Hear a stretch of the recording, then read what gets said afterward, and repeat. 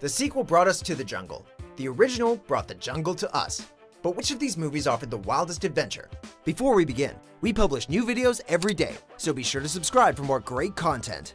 Welcome to WatchMojo.com, and today we'll be going head to head with Jumanji and Jumanji Welcome to the Jungle to see which film delivered the goods.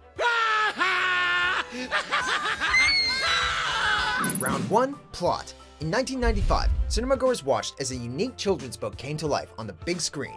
The concept was certainly a novel one, a jungle-themed board game which forces the players to interact with real-life animals and jungle threats in order to reach the end. Oh no. The game thinks I rolled.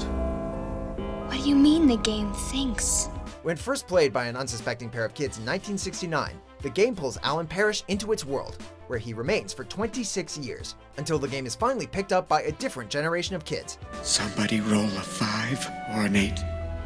An exciting and refreshing premise which saw new elements introduced with each roll of the dice, Jumanji spoke directly to the imagination of children, and still does today. Set 21 years after the events of the original film, Jumanji Welcome to the Jungle featured an entirely new cast, but it still functioned as a sequel to its namesake, using the ambiguous magic of the original board game to deliver an updated spin on the concept. When a teen receives the board game, he is wholly disinterested. That is, until Jumanji transforms itself into a gaming cartridge. This is a game that will always find a way to be played. 20 years later, a group of students find and play the game, only to find themselves sucked into Jumanji itself, a jungle which operates like a video game, complete with lives, levels, non-player characters, and more. Welcome to the Jungle took the concept of Jumanji and did something new with it, when it could have opted to simply retread the original plot. It also played with video game tropes to interesting effect. Though it should be commended for all of the above, there's just no amount of reinvention that can top the plot of the original film, and so, 1995 Jumanji takes the first round. Round 2, Comedy. Though more of a fantasy adventure film, Jumanji did enlist Robin Williams to play the adult Alan Parrish, and that's a casting choice that guarantees laughs. What happened to you? The Clampetts have a yard sale? what do you want? I've never shaved before. Given that he was playing an adult who effectively raised himself in the jungle, and considering all of the ensuing mayhem, Williams was able to really have fun with the role. With scenes that saw his character sinking in quicksand and being stuck in the floor during a giant spider attack, there's plenty of opportunity for physical comedy. Thank you, Judy. Thank you. That was very quick thinking. Sarah and I would like to get out of the floor. Add to his efforts David Alan Grier's turn as the hilariously frustrated Officer Carl Bentley, as well as some mischievous monkeys, and you've got a film that balances drama with just enough humor to keep things lighthearted. Damn, that is a man right there. Don't cry, don't cry. Don't cry, it's gonna be okay. Deviating from its predecessor, Jumanji Welcome to the Jungle intentionally took things in a funnier direction. And, much to the relief of cinema goers, the jokes landed.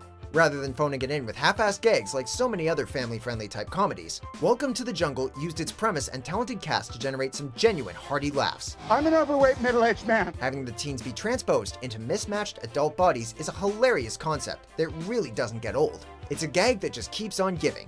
With a healthy mix of jokes intended for the adults, as well as some shockingly funny moments, Welcome to the Jungle was a successful comedy that appealed to all audiences. That was so intense. I like Kent even with this place.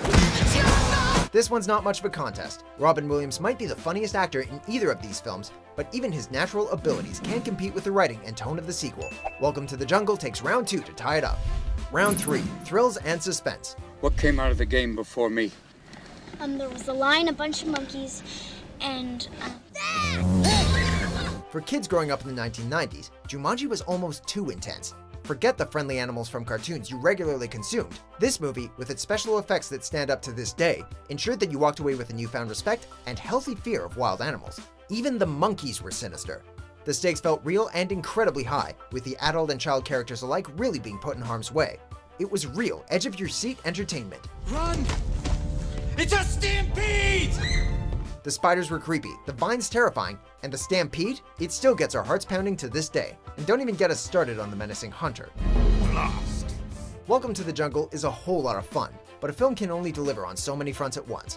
The stakes are there, but given the movie's more lighthearted tone, the suspense is rarely sustained for long before being undercut with some humor. Maybe we're all in a coma. What? That old game machine must have electrocuted us and now we're all... Oh my god! Some of the more intense sequences are indeed thrilling, but even when bullets are flying and animals are gnashing their teeth, the viewer is more entertained rather than nervously biting their nails. That being said, a good old-fashioned standoff always goes a long way in the suspense department. Though both movies bring their own thrills to the party, there's no beating the drama, stakes, and intensity of the original Jumanji, and with that, it reclaims the lead.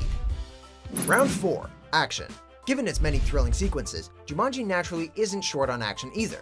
When the animals from the jungle start making their way into the world of our heroes, they soon find themselves running and jumping for their lives. And though there are plenty of quiet moments to allow the characters to really connect, sure enough, as soon as the dice get rolled, the action picks right back up.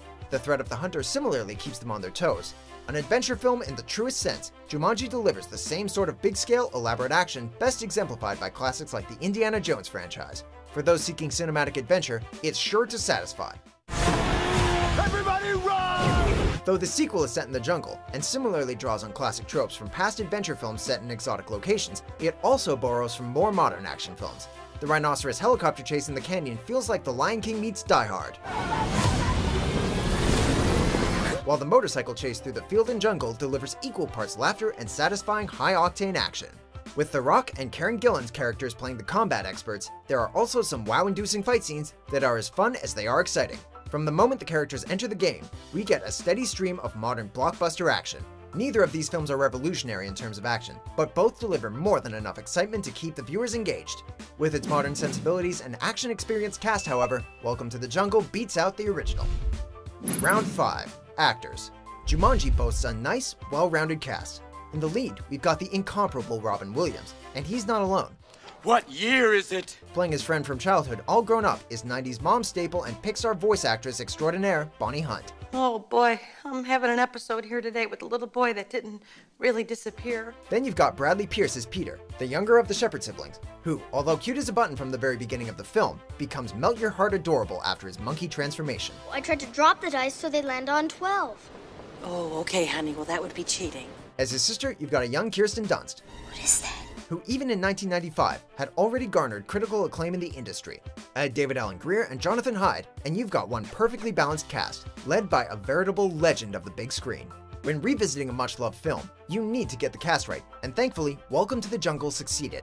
Nobody puts butts in cinema seats like Dwayne The Rock Johnson, the wrestler who through his natural ability, charisma, and charm, has turned into one of the most marketable stars acting today. I have to warn you, I think I'm a very strong puncher. That is insane. Then you've got the hilarious Kevin Hart playing the little guy with a big attitude to perfection. Karen Gillan, who is venerated by geeks everywhere, plays the female lead, who's more than meets the eye. Why am I wearing half a shirt and short shorts in the jungle? And last but not least, you've got Jack Black, who, honestly, may have turned in his best comedic performance in years as the teenage popular girl stuck in a middle-aged man's body. I'm still an old fat guy, right? I'm afraid so. Welcome to the Jungle boasts a stellar ensemble cast that really worked together to produce cinematic magic, but the original is just a bit more well-rounded, with characters of various ages for viewers to relate to. With Robin Williams serving as the trump card to push it into the lead, Jumanji takes the round, and with that, the win. Welcome to the Jungle is indeed a worthy successor of this mid-90s fan favorite film, but Rotten Tomatoes scores be damned, the original Jumanji is still king of the jungle. Did we pick the right Jumanji? Be sure to debate in the comments, and of course, don't forget to subscribe to WatchMojo.com for more entertaining versus battles. Do you agree